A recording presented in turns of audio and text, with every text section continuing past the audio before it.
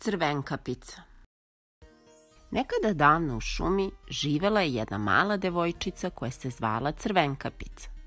To ime je dobila po crvenom plaštu koju je isplela njena baka. Jednoga dana baka se razbolela.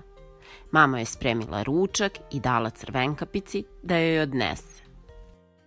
Izvoli crvenkapice, ovo je ručak za baku. Odnesi ovu korpicu baki, ali molim te, budi pažljiva. Idi pravo kod bake i ne skreći sa staze u šumu, jer tamo živi strašni vuk. Važi mama, ne brini.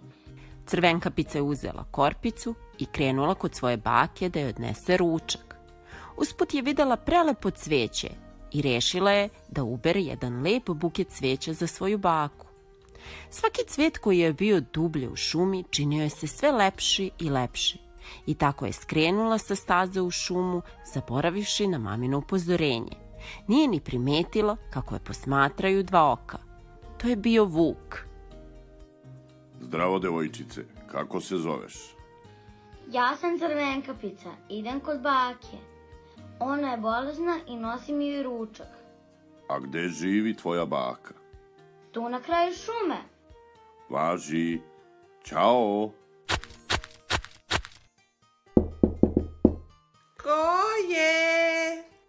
Ja sam Crvenkapica, tvoja unuka. Nosim ti ručak. Uđi, otvoreno je. I Vuk je pojeo baku.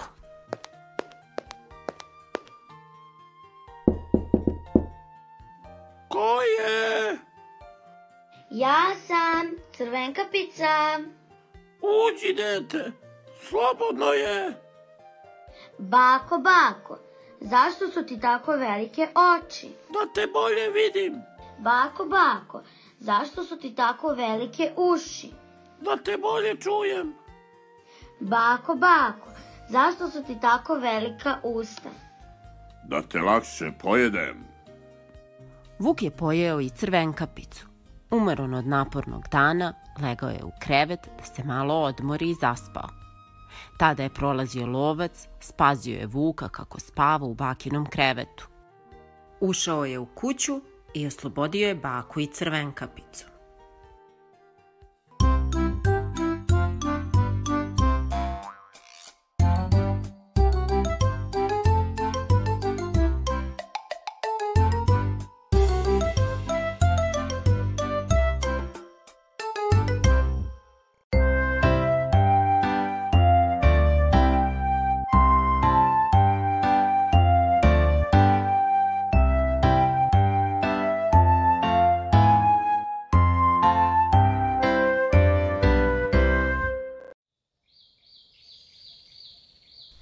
Nekada davno u šumi živela su tri praseta.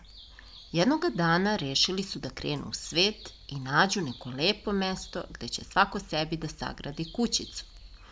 Ubrzo su našli prelepo mesto koje se svoj trojici svidelo. A ću da sagradim sebi ovde kućicu. Ovo mesto je kao iz bajke. Ja bih želeo da živim ovde do kraja života. Prvo prase je bilo jako lenjo. Sa malo truda sagradilo je kuću od slame. Moja kuća je najlepša. Ni drugo prase nije bilo ništa vrednije. Sa malo truda sagradilo je kuću od drveta. Moja kuća je najveća. Treće prase je bilo najvrednije. Sa puno truda sagradilo je kuću od cigla.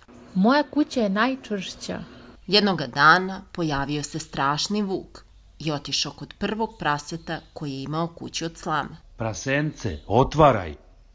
Neću, jer ćeš da me pojedeš. Ali ako ne otvoriš, ja ću duvati, duvati i srušit ću ti kuću. Ali prasence se nije obaziralo na upozorenje Vuka i nije želelo da mu otvori vrata. To je jako razljutilo Vuka. On je uzeo vazduh i duvao, duvao i duvao sve dok mu nije srušio kućicu od slame. Prasence je brzo pobeglo kod svog brata koji je sagradio kuću od drveta. Ali Vuk je i tamo ubrzo stigao. Prasići, otvarajte. Nećemo jer ćeš da nas pojedeš.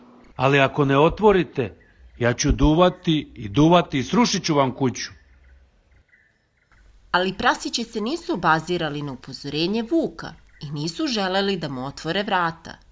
Vuk se naljutio, uzeo je vazduh i duvao, duvao i duvao sve dok nije srušio i kućicu od drveta. Prasići su uspeli u poslednji čas da pobegnu kod trećeg prasenceta koji imao kuću od cigle. Ali Vuk je i tamo ubrzo stigao. Ne plašite se, braćo, moja kuća je najčvršća. Prasići, otvarajte. Nećemo, jer ćeš da nas pojedeš. Ali ako ne otvorite, ja ću duvati i duvati i srušit ću vam kuću. Prasići se nisu obazirali na Vuka i nisu želeli da mu otvore vrata. Vuka je opet to razljutilo. Uzeo je vazduh i duvao, duvao i duvao, ali nikako nije mogao da sruši kuću od cigle. Brzo je došao na jedan lukav plan. Spustit ću se niz očak, ući ću u kuću i poješću sva tri praseta. Međutim, prasići su shvatili šta želi Vuk da uradi i brzo su se setili kako da ga pobede. Uzeli su brzo lonac sa vrelom vodom i stavili ga na vatru, tako da Vuk, kada se spuštao niz ođak, upao je u lonac sa vrelom vodom. Opekao se i je učući je pobegao iz kuće i više se nikada nije vratio.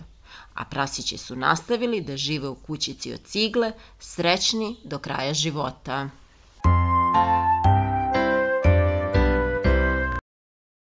Mačak u čizmama Bio jednom jedan čovek koji je imao mlin, magare i mačka.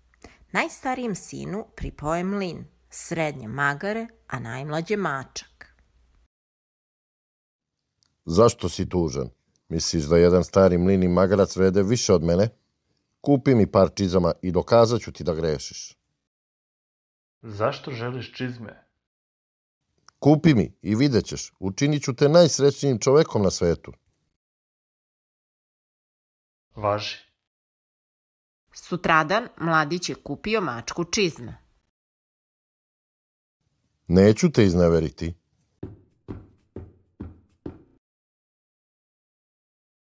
Vaše veličanstvo, nosim vam ovu jarebicu kao poklon od mog gospodara, Markiza od Karabasa. Hvala puno. Zahvalite se vašem gospodaru.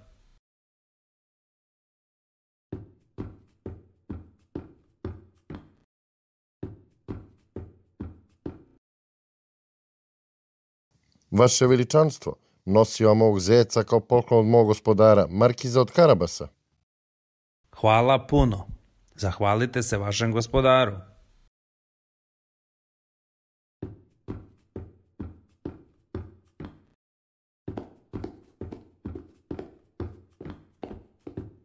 Spremite konje i kola.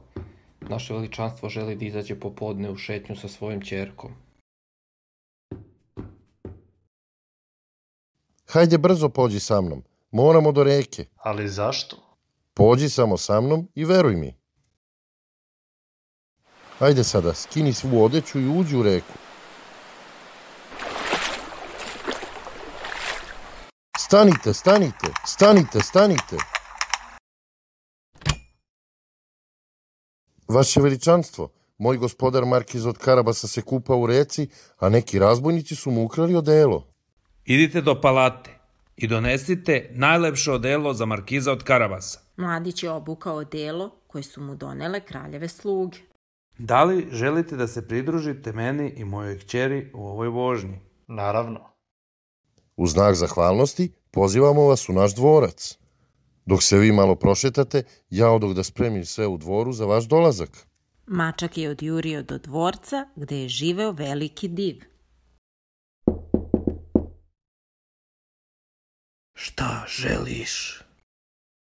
Čuo sam da imaš moć da se pretvoriš u što god poželiš, a ja sam se kladio da sigurno ne možeš da se pretvoriš u malenog miša. Ho, ho, ho, ho, ho, ho, ho. Naravno da mogu. A sada ću ti dokazati. Mačak ga brzinom vetra zgrabi i proguta i pojuri da otvori kapiju kako bi dočekao kralja.